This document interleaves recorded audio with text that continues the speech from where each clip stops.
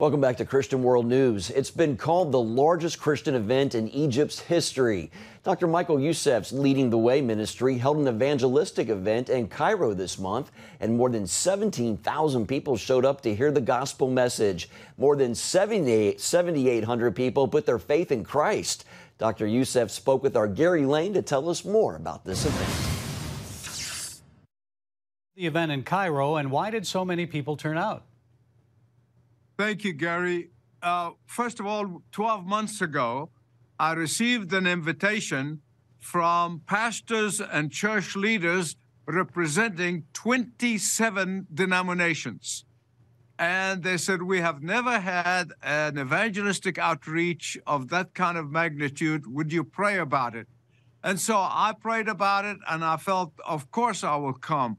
It was amazing experience. Uh, past midnight, people did not leave, did not want to leave, and they said, "We just feel the Holy Spirit here.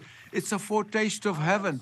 Just praising God together. People from all denominations, from all backgrounds, and um, and then God gave me a message from uh, Matthew 24, as it was in the day of days of Noah, so shall it be before the return of the Son of Man. And I shared with them that this is the time to give your life to Christ. And people responded in ways exceedingly abundantly, as the Bible says, uh, than we expected. And that's nearly half the crowd responding to, to the gospel message. So, what explains that spiritual hunger there in Egypt? I think there are many things that are going on right now. As you know, the war in the northern border is going on with Hamas, and then we, uh, you know, inflation is 40% in Egypt. People are really suffering and uh, that some are losing hope and they want something to uh, hang their hope onto. They want to have peace. And this is exactly the message I brought them that you can have peace in Christ regardless of the circumstances and regardless of the uh, surroundings.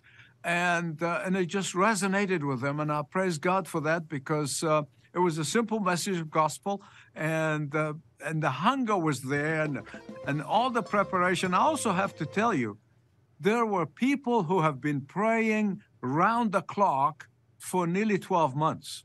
And so I, I always say this is God's answer to the prayers of the faithful people there. And uh, the instrument that God uses uh, to preach is really uh, neither here nor there. God can use anybody. Uh, but He responded to their prayers and to their faith and gave them eh, what is going to be now an igniting of a movement. They're going to continue. It's not going to stop. And so we, we praise God for all those people. They signed the card. They all are signed to be followed up. Uh, 90% of them were uh, going to be assigned to churches that they can go to, Bible believing churches. And so we, we just rejoice in what God uh, has done. Now, at one point, you were urged to cancel the event because of the war in Israel. You referred to the Gaza war. How did you respond to that? Well, if, I have some dear friends here in Atlanta. Many of them are uh, uh, uh, my congregation. I'm their pastor. And I thank God that they love me. and they were coming to me and saying, you know, why risk? Uh, why go now? You know, the war and it could be spreading. And and I said two things. Number one, God knew 12 months ago when this was uh, planned that this is going to happen. It's not taking him by surprise. And the second thing is, can you imagine announcement made that uh, the evangelist is not coming because you know he's concerned about the situation in the Middle East? What kind of a God do I worship? And I said, there is no way I'm going to cancel this. I'm going no matter what. And I knew that I could trust God. This is God's plan, and we want to be on His plan, not ours. So, how is the war affecting Egypt and the region?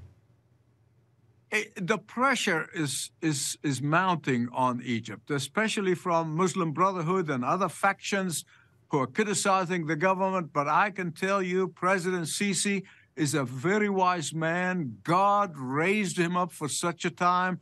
He, he, he loves his people and every decision he makes is for the benefit of his people in Egypt. And he's helping, he's putting, uh, sending a lot of aids and a lot of people coming for medical treatment and so forth. but he is uh, really consistently said that uh, we want to do what is right for our people. And I'm so grateful for him and the wisdom that God gave him, really. Finally, then, what impact is the war having on the church in Egypt, and how can we pray for them? Well, I, the, the, uh, the churches are booming. I mean, the, uh, really, I mean, it, it, it is amazing what God is doing. Uh, you know, the evangelicals, uh, Protestant, I guess, uh, may have been uh, something like 250, 300,000 back when I lived there 55 years ago. Now there are over 2 million evangelicals in Egypt and uh, about 10 million Coptic Orthodox. And so God is doing amazing work and, and, and, and bringing people to Himself. They're seeing dreams and seeing visions, and they watch our channel, Kingdom Sat, Malakot Sat in Arabic, and they said, he, they are preaching about the one that I saw in my dream. And then they call our contact uh, folks and uh, help lead them to Christ and disciple them. So please pray that God will keep that movement uh, that was ignited uh, to keep going for many years to come. Okay, that's certainly good news, encouraging. Dr. Michael Youssef, thank you for joining us. My pleasure.